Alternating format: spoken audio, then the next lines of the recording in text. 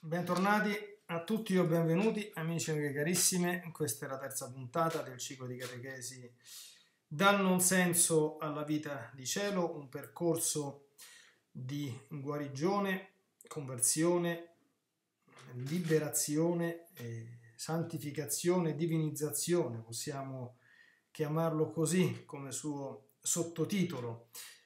Siamo giunti alla terza puntata, nella seconda ho cercato di presentare con un quadro che possa aiutare ecco, le persone che desiderano interagire con questo itinerario, perché questo è un itinerario interattivo, ecco, non per interagire durante la diretta in cui va questa catechesi, anche se poi sarà disponibile come sempre attraverso le mie piattaforme multimediali, e quindi non per interagire in questo senso, ma per interagire in senso esistenziale, quindi sono eh, suggestioni, spunti, eh, suggerimenti, eh, strade, piste, eh, eh, su cui si può e soprattutto se si vuole fare un regalo si deve lavorare sopra.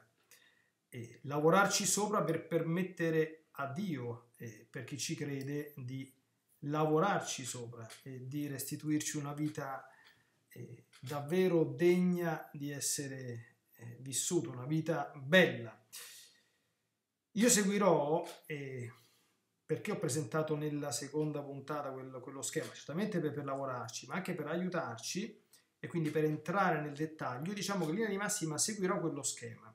Quindi sappiamo che in quello schema la prima area da indagare è il vissuto a livello familiare e a livello, e a livello di ambienti, cioè prendere coscienza che quello che abbiamo vissuto, anche se appartiene al passato, è passato in quanto ai fatti, ma è più che mai presente in quanto agli effetti, perché gli effetti del passato e soprattutto delle ferite ricevute nel passato, se non sono curate, permangono nel presente. Tra l'altro, a quanto pare, con una dinamica che eh, l'incedere del tempo, anziché attutire certe ferite, le amplifica. Quindi più tempo passa e peggio è, e più male si sta, se non si interviene. Ora, in questa prima parte dell'itinerario, eh, per dovere di correttezza, insomma, oltre alle fonti, diciamo così, eh, biblico-teologiche diciamo generali che eh, appartengono si spera alla mia diciamo conoscenza e competenza di sacerdote speriamo e farò riferimento mh, generale e a volte anche diretto ed esplicito forse già da questa sera ai testi eh, di Don Giuseppe Sovernico che la serie che poi ha, ha dato origine alla, a Chi sono io per poter amare, ma un testo anche del carissimo, eh, eccellentissimo, bravissimo sacerdote, nonché eh, spero, almeno da parte mia, mio vecchio amico eh, e maestro per certi aspetti, Don Fabio Fiorini, in, Don Fabio, scusate, Rosini. Eh, Don Fabio Fiorini, buonanima, era un sacerdote di, de, de la, della mia diocesi, eh, lo dico insomma per che morì ucciso in terra di, di missione tra l'altro, no? quindi per questo mi è capitato questo piccolo lapsus istantaneo, però ecco, certamente vale la pena ricordare anche questo caro confratello che ha versato il sangue in occasione ecco, dell'esercizio del suo compito di missionario e di medico, quale, quale era. Don Fabio Rosini è eh, una persona veramente eh, straordinaria, un credente doc, uno che ci crede sul serio al Vangelo e a Gesù e, e che ha avuto anche un, un, itinerario, una maturazione, diciamo così, presbiterale umana davvero impressionante a mio, a mio avviso. Io lo conosco da tanti anni, insomma ha scritto dei libri molto molto belli. Uno che è molto vicino al tema che noi eh, stiamo affrontando si chiama L'arte di guarire, l'emorroissa e il sentiero della vita sana. Oh, io non, non, voglio fare pubblicità a Don Fabio che non ha bisogno certamente della mia pubblicità, però questo è un testo a mio avviso molto molto bello. Io farò qualche piccolo accenno che, che evidentemente eh, non, non, posso rubare il lavoro altrui e, e, e, non sarebbe neanche possibile insomma fare una lettura sistematica, no? Ci, vorrebbe una ci vorrebbero 50 catechesi, forse 60 soltanto per leggere e commentare il libro, forse anche 100, insomma, no? Quindi qualche piccolo spunto però lo prenderò. È un libro molto bello da leggere perché fa comprendere come eh, Gesù è medico dei corpi.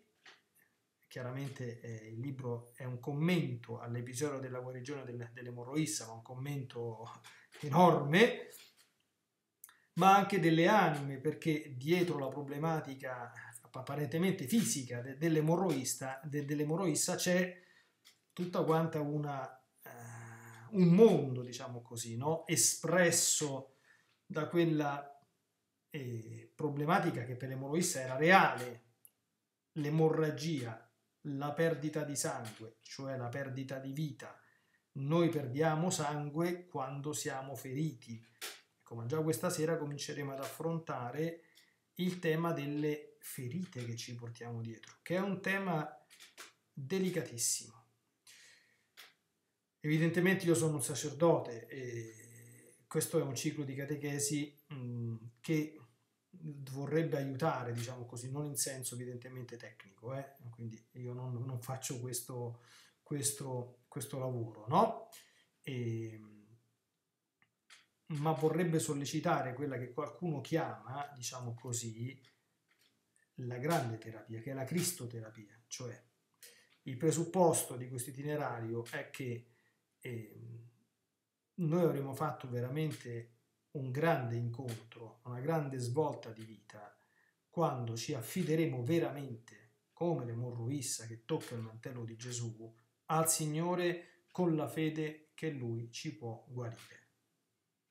C'è un bellissimo canto, magari lo facciamo all'introduzione della diretta della prossima puntata, che si dice Gesù, Gesù, dice vengo a te per toccare solo il lembo del mantello, no? E poi Gesù, Gesù guarisci, no? Ecco, questo è un bellissimo canto, ma questa è una realtà. Perché come ho accennato, non mi ricordo se nella precedente o nella prima puntata, eh, esistono bravi psicologi e bravi psicoterapeuti, d'accordo? Eh, esistono, come in tutti gli ambiti professionali, alcuni molto bravi. Tuttavia, io ho avuto modo insomma di, di, di sapere, di venire a conoscenza che alcuni onestamente riconoscono un limite quasi intrinseco, nel senso che in campo diagnostico le cose le sanno fare molto bene, sanno aiutare molto le persone a individuare bene la propria situazione. in campo terapeutico, sì, certamente ci sono dei, dei percorsi, degli itinerari, eh, ma sono consapevoli che si arriva fino a un certo punto, perché se tu sei profondamente ferito, c'è bisogno di qualcuno che ti medichi, che ti tocchi, che ti guarisca. E questa è cosa che più di qualche volta esula dalle possibilità umane. E chi è che può fare questo? È il Signore. Cioè io tante volte ho detto nella, nella mia vita sacerdotale, insomma, che anche ciò che ha mosso me a suo tempo a rispondere alla chiamata del Signore fu la scoperta che la fede divina e cattolica non è semplicemente un compiere qualche gesto religioso, quindi andare a messa, che sono tutte tante cose che certamente fanno parte della vita di fede, andare a qualche processione, fare qualche preghiera, fare qualche fioretto, fare qualche opera buona, fare qualche elemosina, questi sono tutti quanti atti religiosi che hanno senso dentro un contesto. La fede è l'incontro con una persona che ti cambia la vita. Ma non ti cambia, non è questa qui una frase retorica, d'accordo? Una frase fatta, dice, dobbiamo colpire le persone, dobbiamo farli avvicinare, dobbiamo dirgli che il Signore ci cambia la vita. Cioè quella, quella classica frase fatta che tanto lo dicono tutti, ma ci crede nessuno, no? No, è proprio così. Io ne sono testimone, quindi... Eh, l'ho visto non soltanto nella mia vicenda personale, ma nella vicenda di persone a me particolarmente care, quindi ho visto, eh, certamente con gli occhi illuminati da, dalla fede, non si tratta di fenomeni sensibili, eh, la grazia di Dio, la potenza del Signore risorto in opera, in atto, è quello che può fare, quello che può realizzare. Ecco, quindi eh, il senso di questo cammino è aiutare le persone a entrare in contatto con il medico. D'accordo?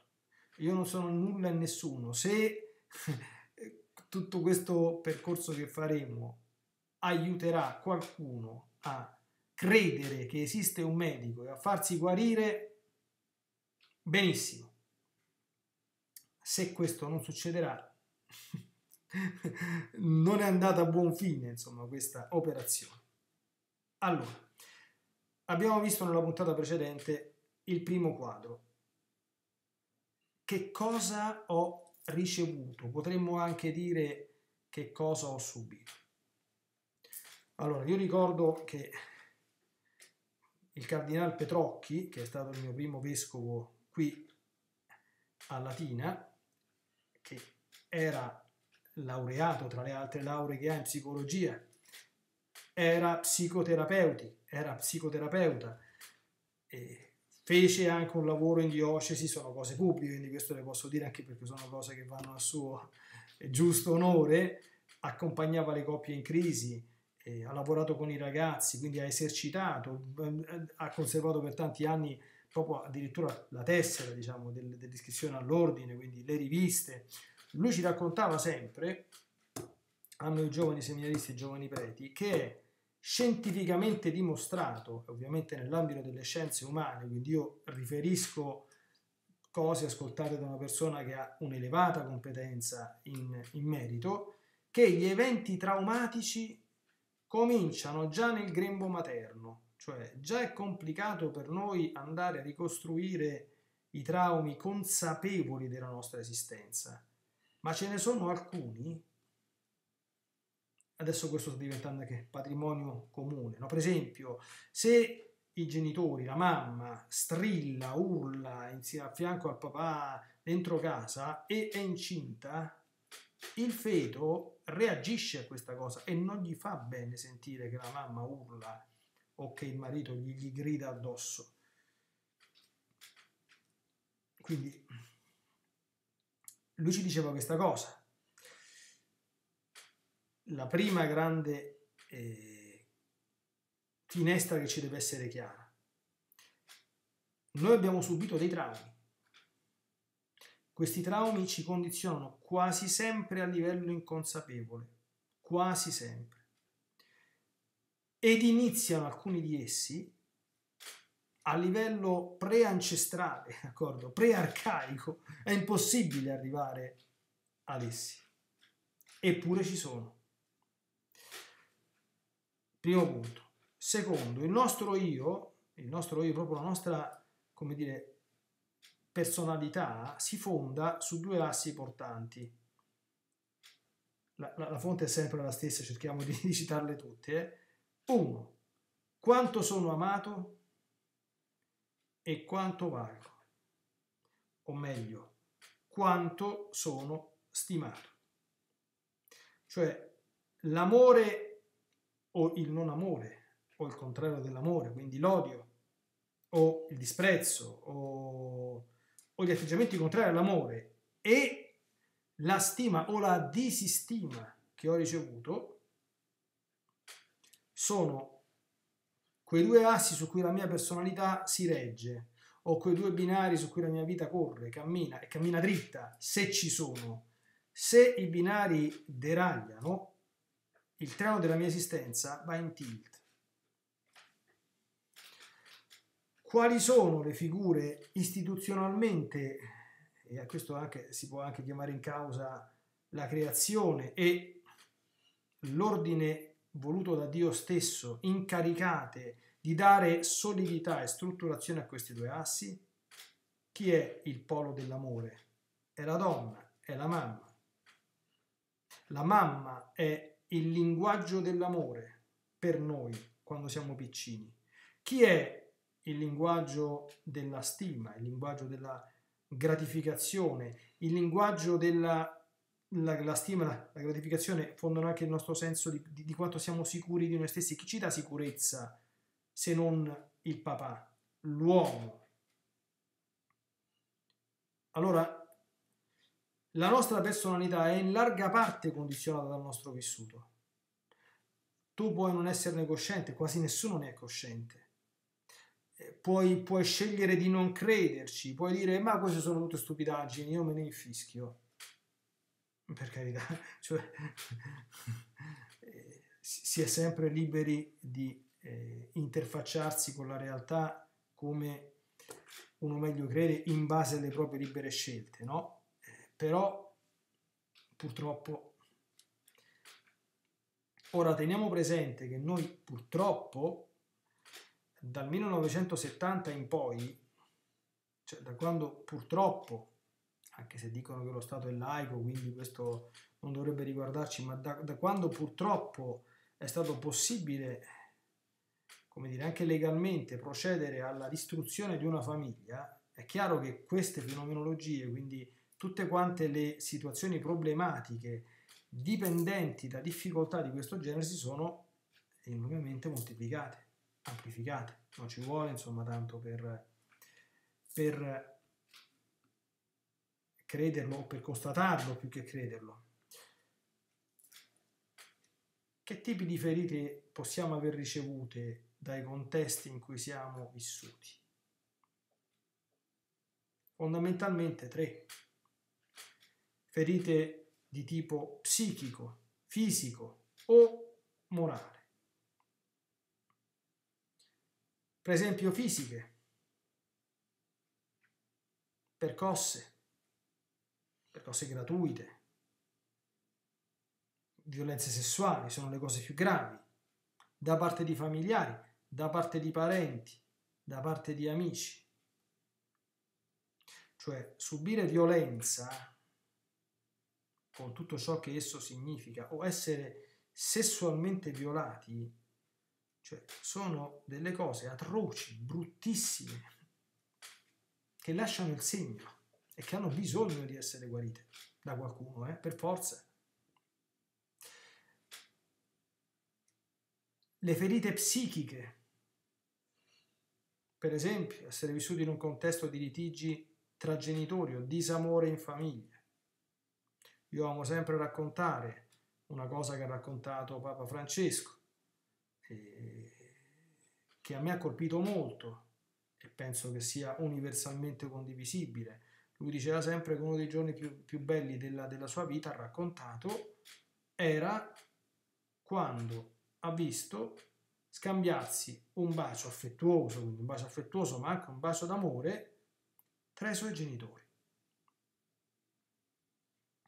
Perché se un figlio vede che i genitori si amano, uh, ne, ne riceve una montagna di benessere, di, di vita, di serenità, di tranquillità.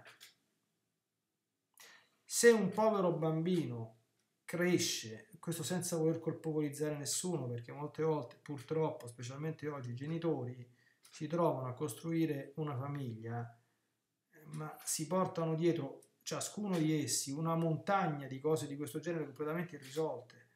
Quindi non sono assolutamente in grado di poter fare, cioè di potersi amare l'un l'altro totalmente, né tantomeno di dimenticarsi per il bene del figlio, non ce la fanno, d'accordo? Non hanno l'attrezzatura, non, ci sta più oggi questa qui, purtroppo. Però se questi poverini non hanno l'attrezzatura e hanno messo al mondo un figlio e il figlio cresce in quell'ambiente, quel figlio starà male, sicuro, non c'è possibilità. D'accordo? Non c'è possibilità. Altre ferite psich- psichiche terribili, la percezione netta di essere rifiutati, di non essere voluti, di essere di troppo, specialmente in famiglia, oppure di essere posposti a qualche fratello, a qualche sorella, di essere il calimero della situazione, la pecora nera, tutte le attenzioni, tutti quanti l'amore su e a me niente. Oppure angherie subite da parte dei fratelli. Oppure vessazioni, ricatti vari. Questi magari sono figli di un'educazione oltremodo rigida, credo oggi non molto diffusa, ma si sa mai, insomma, no? almeno dalle nostre parti in Occidente, no? si sa mai, insomma, non, non precipitiamo giudizi che, che, che, non siamo in grado, almeno io, insomma, di, di, di fare, no? Poi, altri traumi psichici, perdita precoce, per esempio, di un familiare, ti muore la mamma o il papà in tenerissima età, questo è un problema. Di un parente, magari un nonno o una nonna a cui sei tanto affezionato, di un amico, o comunque altri eventi traumatici, qui ce ne possiamo mettere quanti ne vogliamo. Poi le violenze morali, cioè che in genere hanno ferite morali, violenze verbali. Non è bello crescere in un ambiente dove ci si manca di rispetto sistematicamente, ci si prende a parolacce, eh, si tratta una persona come una pezza da piede, eh, si aggredisce, si insulta, si giudica, eh, ci si rinfaccia le cose. Sono cose orride queste qui, sono cose bruttissime. Poi i disprezzi, quando veniamo disprezzati, adesso sentiremo Don Fabio che bella rassegna che, che ci presenta nel suo libro, o i rimproveri gratuiti o completamente infondati. Il rimprovero, il rimprovero è una cosa che fa male, purtroppo. Il rimprovero, vedremo specialmente il rimprovero diretto, è cosa a cui bisogna ricorrere quando è proprio indispensabile, ma proprio come ultima spiaggia. Non è mai una cosa buona procedere per rimproveri. Un'educazione eccessivamente rigida esistono anche oggi o, cosa apparentemente oggi più frequente, troppo permissiva. Giochi o esperienze specialmente sessuali precoci, cattivi esempi, cattive compagnie, ingiustizie scolastiche. Questi, come sempre, come abbiamo già visto anche la volta scorsa, sono esemplificazioni. Chiaro che il panorama è potenzialmente eh, dire, indefinito, speriamo non infinito, ma certamente aperto a molte possibilità, molte varianti, a molte variabili. Quali sono in linea di massima, diciamo così, no? in linea di massima, in un ambito molto molto generale, come prima eh, battuta, le conseguenze principali di questi fenomeni. La mancanza di amore ricevuto e la mancanza di stima ricevuta, cioè tutte quante quelle tipologie, insomma, che poi se uno va, va, a vedere fondamentalmente, veicolano questi messaggi. Io non ti amo e tu non vali niente. Vedremo come quando ci incontra il Signore, la prima cosa che ti dice, due te ne dice, io ti amo e tu sei importantissimo. Io penso a te come se non avessi nient'altro da fare. E tu sei importante come se, tu, come se tutto l'universo ci fossi soltanto tu. Se tu hai incontrato Dio, prendi percezione di questo. Se non hai preso percezione di questo, cioè se tu nel tuo relazionarti con Dio non senti, non vivi, non sei convinto di questo, ancora l'incontro con l'abbraccio di Dio non c'è stato nella tua vita. O non c'è stato in forma piena. Attenzione, in forma compiuta, quindi non è che uno è ateo è lontano dal Signore, no? Ecco. Allora, la mancanza di amore ricevuto generalmente dà luogo a una personalità o fragile o inconsistente. E quindi che cosa succede nella vita? Allora dice, che c'entra questo con, con la fede? Ma come che c'entra? Uno può fare tante cose buone, può andare a vivere tante messe, può fare tanti rosari, può fare tanto volontariato, può fare del bene al prossimo, può fare tante elemosine, può fare tanti servizi in parrocchia, tutto quello che volete. Ma se c'ha questo dentro, la sua vita non è bella, non, la, non, non, non avverte tutti quanti i benefici che derivano dalla vita di grazia, dal, dal vivere in comune con il Signore. Perché queste cose non guariscono facendo catechismo in parrocchia, attenzione, fatelo, eh, io sono parroco, magari fossero tutti catechisti e volesse il Signore dare a tutti il suo spirito, capite bene il senso di quello che sto dicendo. Allora, una personalità fragile e inconsistente, che cosa farà? Fa di tutto pur di trovare e ottenere amore. Tu di tutto. Spesso e volentieri, a volte soprattutto, nella sfera sessuale, ma anche nel rapporto tra amici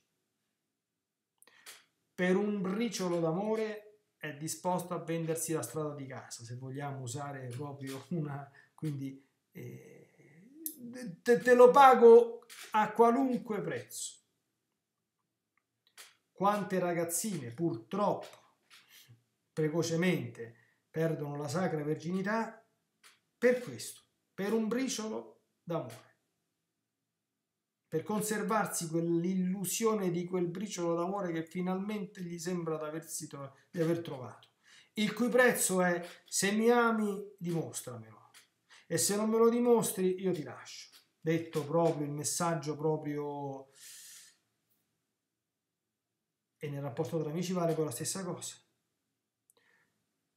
Tutto questo ingenera una serie di atteggiamenti, a volte nevrotici, a volte psicotici, di vario generi, caratterizzati, attenzione, dal desiderio inconscio di attirare l'attenzione. Io spero che lo Spirito Santo veramente eh, parli nei cuori di chi ascolta queste piccole cose che sono delle sciocchezze, queste qui sono proprio dette a livello, come dire, elementare divulgativo, no? sono dei piccoli input, ripeto, non ho, però e ci dia anche la possibilità di guardare i nostri simili con occhi nuovi, quelle persone odiose, quelle persone che eh, si mettono sempre in mezzo, eh, che devono sempre dire a loro, quelle persone che a volte sono stravaganti, hanno degli atteggiamenti singolari, che vogliono a tutti i costi farsi notare. Uno dice, ma questo chi è? Oh, ma che vuole? Cioè, che risultano antipaticissimi poi, cioè quei, quei poveracci che campano così, loro non, non lo sanno, ma fanno tutte quante queste cose per essere un pochino amati. E più fanno questo, e più ottengono esattamente l'effetto, contrario, perché più fanno così, e più saranno ancora di più non amati. Ma hanno questo, diciamo così, atteggiamento inconscio che è il desiderio di attirare l'attenzione perché vogliono qualcuno che voglia bene.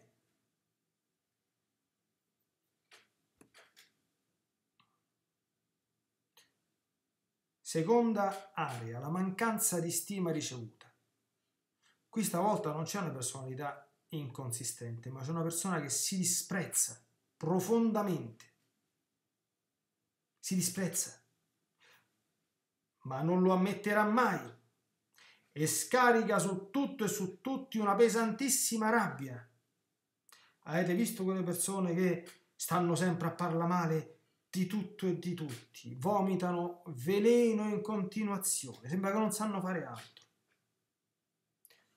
Bene, sappiate che chi fa così si detesta, si ritiene una nullità assoluta, si ritiene l'essere più schifoso del mondo, anche se quasi certamente non se lo è mai detto e non lo ha mai ammesso né a se stesso e né davanti a Dio.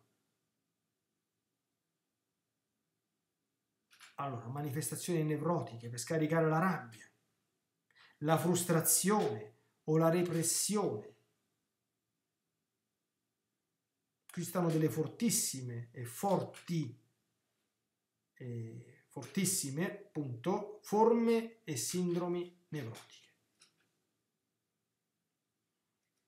Ci diceva Monsignor Petrocchi, qual è la distinzione tra la nevrosi e la psicosi?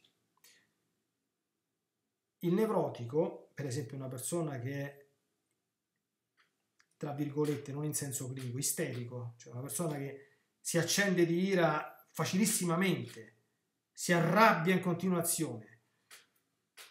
Se tu gli fai notare, dice, fratello mio, ti arrabbi un po' troppo spesso, eh? lui ti risponde, sì lo so, ma non ci posso fare niente. Invece quando una persona ha una sindrome di tipo psicotico, quindi il nevrotico ha degli atteggiamenti distruttivi, ma sa di averli, anche se non sa come uscirne, non sa come combatterli e non sa da dove vengono, né da, né, né da dove vengono né come si combattono.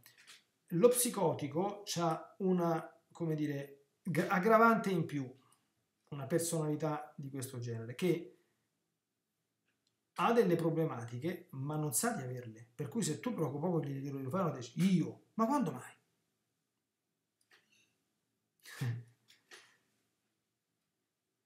Casi classici di, di, di, sindromi, tra virgolette, non, non, in senso clinico anche qui, eh, psicotiche. Le persone che a causa appunto delle mancanze di amore ricevuto, quindi della, della fragilità, eccetera, eccetera, sono permalose. Quindi scambiano per messaggi di non amore cose che sono assolutamente non in questo senso, interpretano tutto a male, sono sempre sospettose, stanno sempre a pensare che c'è tutto quanto il mondo che sta in complotto per cercare di fargli un altro po' di male, per dargli un altro po' di dolore, per togliergli un altro po' d'amore. E quindi alla minima cosa si risentono. Tu glielo fai notare, dici io, ma quando mai? No, no, no, no, assolutamente no, io non ho nessuna problematica di, di questo genere. E se tu insisti, la risposta è non mi capisci. No, no, tu non puoi capire. Queste sono le, le eh, come dire, le, le fenomenologie, quindi quello che appare a livello pratico. In entrambe queste dinamiche, quello che spesso appare, e qui abbiamo anche testimonianze di persone adulte, quello che c'è dentro la persona è una immaturità perpetua. Immaturità che significa incapacità di prendere decisioni impegnative. Quando è che una, che una persona è matura? Quando una persona sa fare delle scelte e prendersene le conseguenze. Ci siamo mai chiesti come mai oggi l'età non soltanto dei, dei matrimoni, ma anche nei, nei, seminari, no? Come dire, si alza, diciamo così, l'età di ingresso in seminario, l'età dei matrimoni sempre più avanti, 30, 35, anche 40 anni. Come mai? Perché siccome oggi viviamo in un ambiente che è l'habitat naturale dove, dove, dove, dove queste dinamiche proprio trovano l'humus proprio fantastico, d'accordo? Proprio il terreno umido dove, dove, dove germoglia sprombattuto, è chiaro che le persone poverine sono immature. Pensiamo anche al discorso delle convivenze, non da un punto di vista morale, ma da un punto di vista anche qui fenomenologico, comportamentale. Cosa dice una persona che va a convivere? Perché va a convivere? Perché non vuol fare una scelta definitiva. O meglio, vediamo un attimo come va. Se va bene, forse, e se no, pazienza. Quindi devo avere, come dire, la possibilità della reversibilità, dice ma come c'è, c'è il divorzio? Sì, però il divorzio poi costa, comunque costa un sacco di soldi, costa un sacco di questioni. Che bisogno c'è? Facciamo la prova. Da un punto di vista, ripeto, comportamentale, questa è una spia, come dire, di una personalità che denota segni di immaturità. Prendere decisioni impegnative, no? Ancora, qualche altra conseguenza delle ferite che ci portiamo dietro. Queste sono spie. Dopo, disturbi o difficoltà relazionali nei confronti di amici o con persone di altro sesso. Problemi più o meno grandi nei rapporti con le autorità di tutti i tipi, con le autorità civili, con le autorità ecclesiastiche. Oggi il problema del rapporto con l'autorità è un problema serio molto serio anche il come si reagisce dinanzi all'autorità, no? Specialmente quando l'autorità prende qualche provvedimento che tu non condividi e che ti tocca nell'intimo. Vediamo oggi in giro telegiornali, social networks, chiacchiere da bar. Cioè, Oggi ci si sente tranquillamente autorizzati nei confronti di qualunque autorità civile o anche religiosa, dalla più piccola anche alla più grande, di sparare, vomitare tutto quanto il veleno possibile e immaginabile. È una cosa fatta bene questa qui, cioè adesso lasciamo perdere l'aspetto morale, è una cosa fatta bene. Che cosa denota questo? Il problema con l'autorità denota un'altra ferita che tu ti porti dietro. Com'è stato il rapporto con tuo padre? Punto interrogativo. Se tu hai tutte quante queste problematiche con le autorità, che tipo di rapporto avevi? Che tipo di rapporto tuo padre ha indirettamente autorizzato a farti avere con lui? Altra problematica, l'incapacità di conseguire obiettivi sul lungo periodo. Io ricordo, io ho fatto l'università anche civile prima di entrare in seminario, la facoltà che la chiamavano degli scansafatiche, eh, non dico quale, insomma, ma eh, cioè, nella facoltà de- degli scansafatiche ai tempi miei c'erano tantissime persone che si laureavano a 30-33 anni, con 66-70 andavano al decimo fuori corso, all'undicesimo fuori corso Oppure, mi ricordo, non so se era questo il numero, sì, che su una caterva di iscritti solo il 7% arrivavano alla laurea e alcuni di questo 7% nel modo che vi ho detto. Quindi, era la facoltà degli scansafatiche, figuriamoci se fosse stata la, la, facoltà, come dire, le facoltà impegnative, le facoltà scientifiche, insomma, no? o le facoltà, le super facoltà. Altre conseguenze, i disordini nel processo di identificazione sessuale, tema questo molto molto delicato. Lo sapete benissimo che in campo cattolico eh, questo è un punto molto molto importante, perché noi nasciamo maschi o femmine, ma poi è sicuro che il maschio e la femmina crescendo si senta uomo o donna e questo sentirsi magari un maschio che si sente donna, una femmina che si sente uomo, è cosa normale, come oggi si vorrebbe far credere, e da pre- di cui prendere atto, o è qualche cosa che ha una spiegazione, che dipende da un certo vissuto e che quindi in qualche modo se ne può parlare, ci si può interagire? Punto interrogativo. Poi, grossi problemi nei rapporti con Dio, che uno si porta dietro, con la fede, con la Chiesa. Io credo che siamo in tempi in cui, da quello che vedo a tutti i livelli, una volta c'era Cristo sì, Chiesa no. Adesso non mi sembra che ci sia questo, questo slogan in giro però c'è Cristo sì,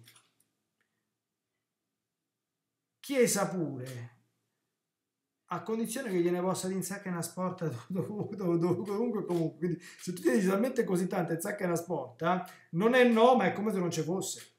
D'accordo? Perché se tu la Chiesa la consideri semplicemente alla stregua di un'organizzazione umana, d'accordo? Dove ci sono quindi c'è la, la, gerarchia umana analoga, per esempio, a quella che c'è nel corpo dei, dei carabinieri, che per certi aspetti lo è analoga, perché la Chiesa ha un'organizzazione gerarchica, d'accordo? Ma se tu vedi semplicemente la componente umana e basta,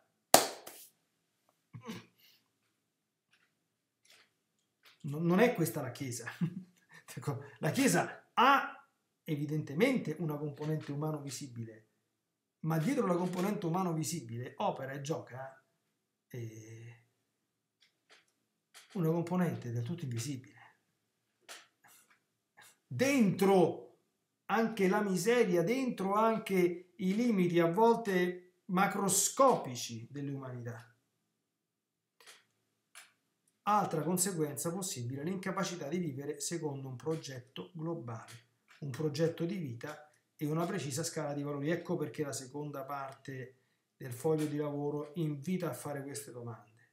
Ma per vivere secondo un orizzonte globale, per avere un progetto di vita chiaro verso cui tu ti muovi e che, verso cui cerchi di camminare, una scala di valori ordinata, eh, esatta possibilmente, corretta, ci vuole una personalità guarita.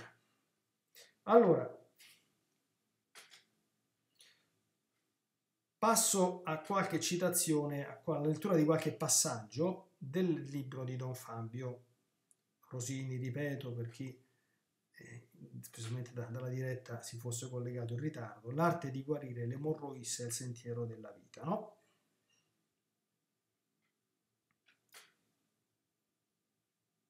Allora, questa povera donna sta perdendo sangue, cioè, nella tradizione ebraica, sta perdendo la vita.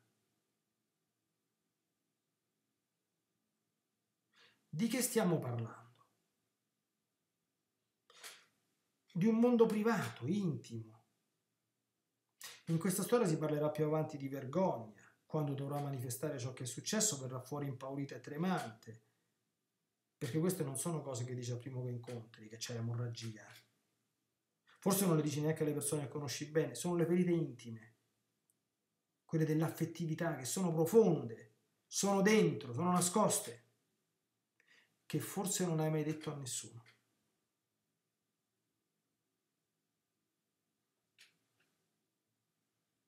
Sono quelle cose per cui uno non si sente normale. Proviamo a chiederci, tu ti senti normale?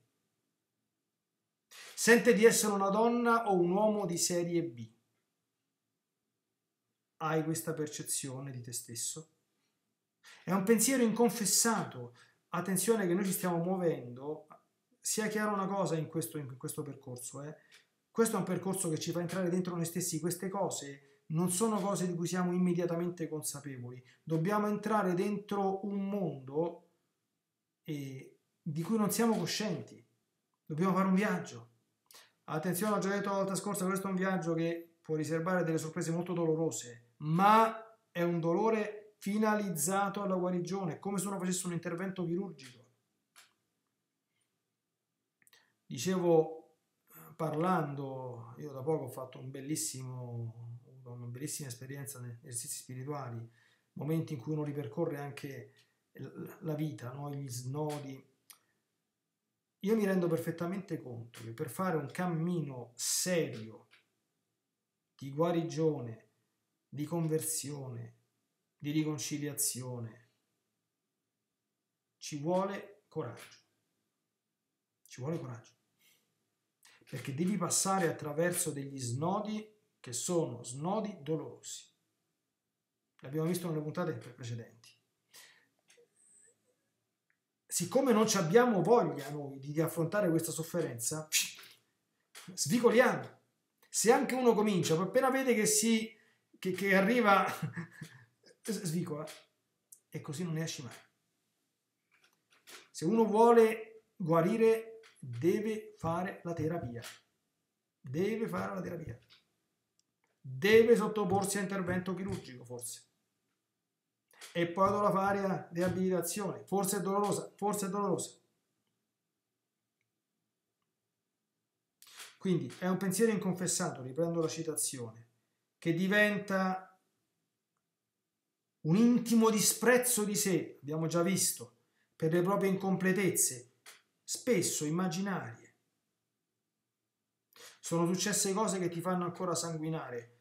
È importantissimo che noi le cose che ci portiamo dietro e che ci hanno fatto male ce le diciamo. Dille almeno a te stesso se non hai trovato nessuno a cui confessarle. Se ci avessi un amico o un'amica, un sacerdote, una suora, chi vuoi tu, con cui potessi condividerle, ti, fare, ti sarebbe già di molto aiuto. Non guarisci con quello, eh?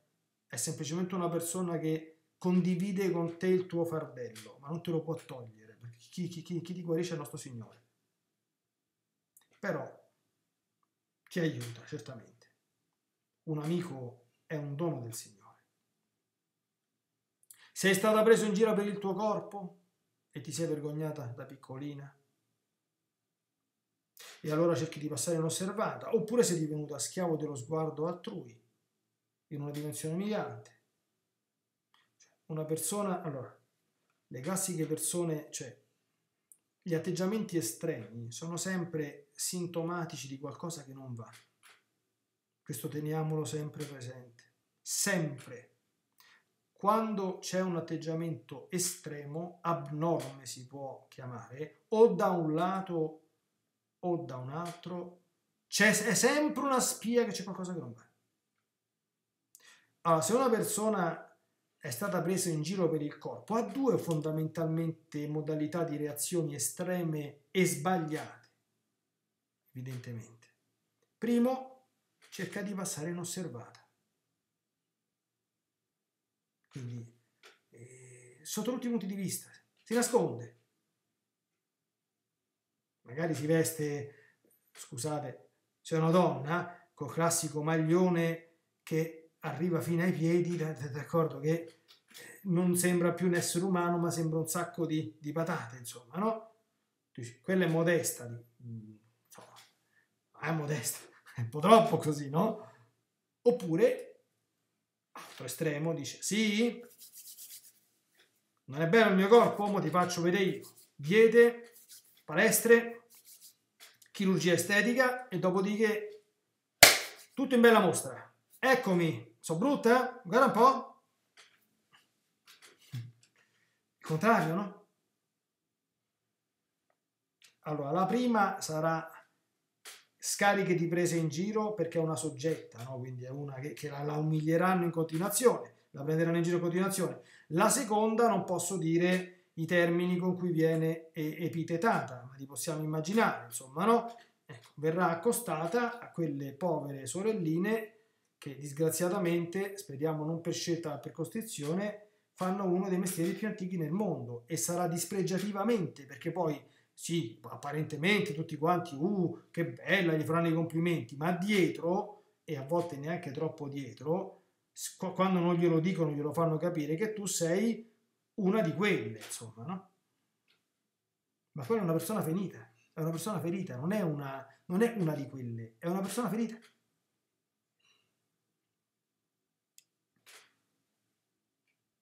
Qualcuno ti ha messo le mani addosso certamente non un santo.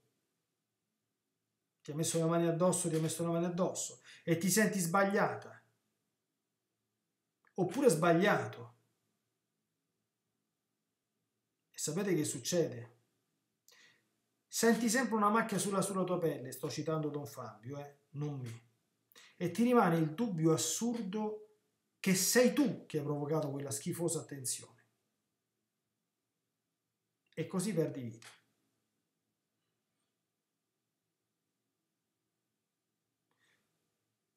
Questi sono pochi esempi, ma questa è un'immagine, l'emorragia di tante altre ferite relazionali che toccano il mondo dell'affettività e della propria identità, i luoghi dove si è tortuosi, contraddittori, impacciati.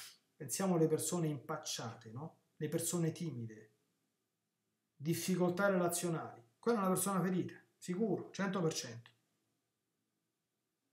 Impauriti, timidi, bloccati, sfuggenti, delusi, disperati, oppure l'altro versante, l'abbiamo già accennato, immotivatamente aggressivi, possessivi, violenti, invidiosi, prepotenti, consumati dal rancore, perennemente incerti o perennemente allarmati e quindi perennemente in guerra. Hanno sempre qualcuno o qualcosa, qualcuno da combattere o qualcosa per cui combattere. Se gli togli la guerra non campano più. Frenati o disgustati di sé. Questi sono tutti i luoghi dove si perde sangue, dove la vita si svuota. Scrive Don Fabio, e queste cose a chi le spieghi? A chi parlare dell'intimo rifiuto del tuo modo di essere? A chi raccontare che ti sembra sempre di essere sbagliato? Puoi aver fatto degli errori in un modo o nell'altro e questi errori sono coltellate che ti sei date, come vedremo quando affronteremo il capitolo di quello che hai fatto. Coltellate che ti sei dato quando hai fatto qualcosa di male. Quando noi facciamo qualcosa di male è come se noi prendessimo un coltello e ci accoltellassimo da soli. Il peccato questo è. E quindi se tu ti accoltelli che succede? Ti fai una ferita e da lì esce sangue, esce la vita. Esce la vita, attenzione, ma ci avete mai pensato che il nostro Signore ha versato il sangue e ci nutre del suo sangue. Che cos'è il sangue? È la vita. Io fino a quando si poteva fare, adesso non si può fare più niente, eh, per diverso tempo, anche qui in parrocchia, con tanta gioia da parte di molti, grazie alle possibilità anche del messaggio nuovo, spesso davo la comunione sotto, sotto le due specie. Sapete che nella dottrina cattolica non c'è nessuna non c'è nessuna differenza sostanziale, d'accordo? Non è che la comunione sotto le due specie è più comunione di quella sotto una sola specie, no? Perché la presenza di Gesù per concomitanza è integrale in ciascuna delle specie e in ciascuna parte di esse. È, è un segno però quella di fare la comunione anche sotto la specie del sangue che ti ricorda che Gesù ha versato il sangue cioè ti ha dato la vita, cioè mentre tu perdi la vita, c'è le emorragie. E le emorragie sono le coltellate che ti hanno dato gli altri e le coltellate che ti sei dato.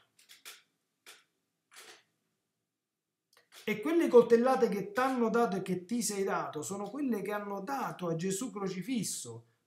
Prima che crocifisso a Gesù flagellato, a Gesù coronato di spine, a Gesù ammazzato di botte prima di morire e poi Gesù chiodato in croce. Quindi che si è preso, che significa che si è preso di tutti gli altri peccati del mondo? Eccoli che ne è presi. Tutta la vita che tu ti togli o che ti hanno tolto ferendoti, lui se l'è fatta togliere perché quella stessa vita, lui il sangue suo era sangue divino, era sangue di vita eterna, quella vita che usciva andasse a ridarti quella che tu hai perso. Questo è, questo è quello che ha fatto Gesù per noi. Riprendo, quella frase infelice di tuo padre. Persone che il padre gli ha detto una cosa, le ha ammazzate e se la ricordano per tutta la vita. Quella presa in giro subita, una presa in giro coi fiocchi, ti segna per tutta la vita. Quella volta che non ce l'hai fatta e sei stata una delusione e te l'hanno fatto notare che sei stata proprio una delusione. Non solo te l'hanno fatto notare, te l'hanno fatto pesare che sei stata proprio una delusione. Quel terrore di essere escluso, di non essere creduto, di essere umiliata, di essere scartato. Poi mille ansie ci possono possedere. Paure di tanti tipi. Oh, qui c'è tutto quanto il capitolo, lo apriremo se Dio vuole. Delle paure, delle fobie. Cominciamo a chiederci tu di cosa c'hai paura? Anche le paure psicologiche, la claustrofobia, le vertigini, eh, l'aracnofobia, chi c'ha il terrore dei, dei ragni, tutte quante queste cose qui. Che, che paure hai? O insensibilità, freddezze per errori subiti o disattenzione ricevuti. Ci può essere qualcuno a cui resta tutto estraneo, qualcuno che non si innamora, che ha un cuore di ghiaccio, non si innamora, non si coinvolge, non ha passione in senso buono, perché convive con un io affettivo incarcerato dentro barriere di autodifesa per non essere ferito ancora, che sono diventate una gambia e quello non campa. Quindi possiamo continuare in tutte le direzioni e fare centinaia di esempi, lo dice anche Don Fabio. Qui cioè, si può scrivere un libro soltanto raccogliendo, eh, come dire, cronologicamente o meglio numericamente, eh, esemplificativamente tutte quante le possibili fonti di sofferenza che possono starci nella nostra vita. Non finiamo più, non finiamo.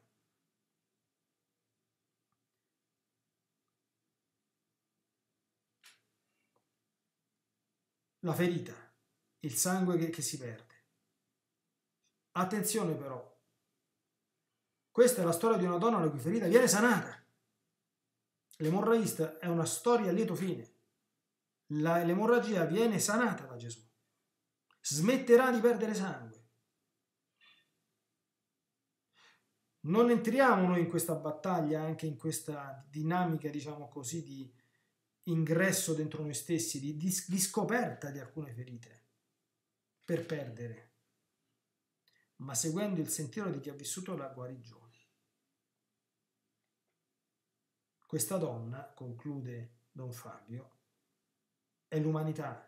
Siamo tutti noi questa Morovissa, in maniera più o meno sanguinosa, più o meno drammatica, immediatamente o remotamente riconoscibile, ma tutti siamo. E come Gesù ha guarito lei, così vuole e può guarire tutti noi, alla sola condizione, come fece questa donna, che con grande fede riusciamo a toccare il suo mantello, però prima che arriveremo al contatto col mantello abbiamo ancora un bel cammino da percorrere con l'aiuto del Signore insieme. Ci vediamo, se Dio vuole, alla prossima puntata. Dio vi benedica e la Madonna vi protegga e sia sempre tutto a gloria e lode di Lui solo. A presto!